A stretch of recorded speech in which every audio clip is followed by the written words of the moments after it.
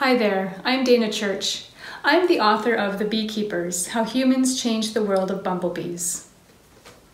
As you probably know, bees have been in the news a lot over the past few years. People are worried about bees disappearing. My book focuses on one type of bee that's in big trouble bumblebees. These are the big fuzzy bees that might seem a little clumsy. Did you know that bumblebees are mass produced so they can pollinate food crops around the world? Bees that come from these factory-like conditions actually spread disease to wild bees. Wild bees also have to deal with pesticides, habitat loss, and climate change. Things don't look so good. But as I write about in The Beekeepers, there's lots of things that kids and adults can do to help save the bees. I wrote this book in order to share how incredible bumblebees are and that we as humans are influencing their survival. I'm sure that after reading The Beekeepers, you'll love bumblebees too.